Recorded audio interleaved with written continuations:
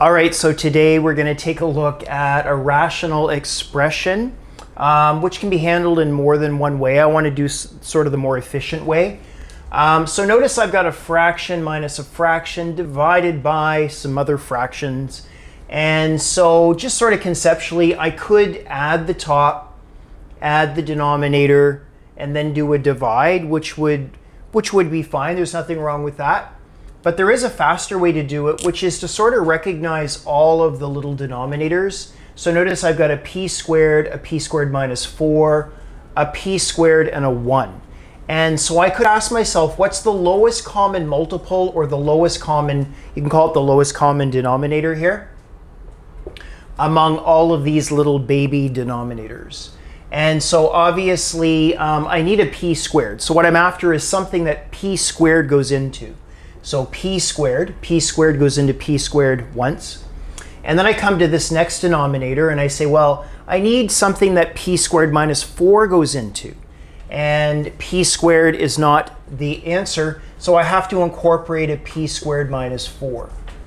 Come to 1, well 1 goes into anything, and p squared goes into this, so I don't need to build it up any further. I want the lowest common multiple or divisor, so that should be good. So p squared onto p squared minus 4 becomes the lowest common denominator of all the little baby denominators. So what I could do is sort of think of the bigger, bigger fraction and multiply the numerator and the denominator by the lowest common multiple. Because really all I'll, all I'll be doing here is multiplying by 1. So if I was to multiply by p squared times p squared minus 4 in the top and p squared times p squared minus 4 in the denominator, then watch what I can do. I can expand that through in the numerator, and I can also expand it through in the denominator. And so if I multiply this by the first term, 3 over p squared, the p squareds will cancel, leaving 3 times this difference of squares. So I'll get 3 times p squared minus 4. And then minus, I'll multiply this by the second fraction in the numerator. Notice the p squared minus 4s will cancel, leaving p squared. p squared times 1 is p squared.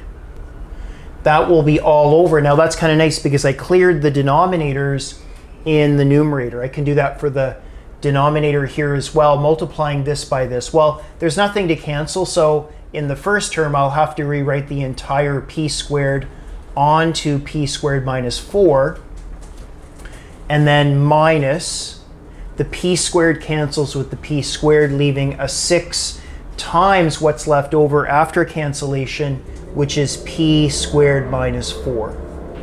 All right. Well, now I've at least I only have one fraction. I don't have a bunch of fractions going on. So what I could do is simplify the numerator. So um, in the numerator, I could um, expand that through, and that's going to leave a 3p squared minus 12. 3 times negative 4 is negative 12 minus p squared over, I do notice there's a common factor here, so in the denominator, it could be written as p squared minus 4 multiplied by p squared minus 6. Do you see p squared minus 4 is common, so I'm factoring it out. And then if I divide this by that common factor, I'm left with p squared. And same here, if I divide this by p squared minus 4, I'm left with negative 6. Okay, onward and upward. The numerator can be simplified. So 3p squared minus p squared is 2p squared minus 12 all over, I'm just going to save the denominator. I'm a little bit lazy. And so here I'm going to take out a 2 in the numerator. So 2 bracket p squared minus 6 over the denominator, which I'll write. So p squared minus 4 times p squared minus 6.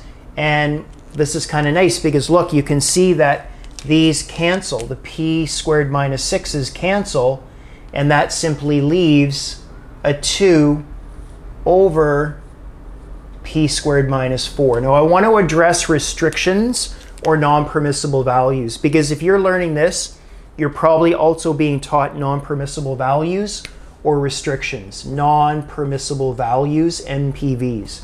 Those are the numbers that P are not allowed to take on because generally with rationals you can't divide by zero. So to do that, we can look at all of these individual denominators. So P squared, well that's P times P. So I know that P cannot be equal to zero. So you're, you're, you're looking at the individual denominators, do you see? And the same here, P squared minus four. So P squared minus four is not allowed to be equal to zero. Well, that implies that p squared cannot be equal to 4, or p cannot be equal to plus or minus 2. Now, at this stage, it's easy to miss two other restrictions. But remember, when you're dividing rationals, you get restrictions. If I have a over b all over c over d, then I pick up restrictions or non-permissible values in the traditional denominators. But because C over D is also a denominator in its totality, C cannot be zero either, okay? So what I'm going to be careful with here is if I was to add these together, if I was to add the denominator together, do you see what would end up happening is I'll just write it here. The denominator would be p squared. But the numerator of that would be p squared minus 6. So the p squared minus 6 is like the c. So not only can p squared minus 4 not be equal to 0, but p squared minus 6 can't be equal to 0. And the restriction there would be that p cannot be equal to plus or minus the square root of 6. Okay, it's unlikely if you're learning this in grade 10 that your teacher is going to take you into radicals um, depending on where you're learning this, of course, what country.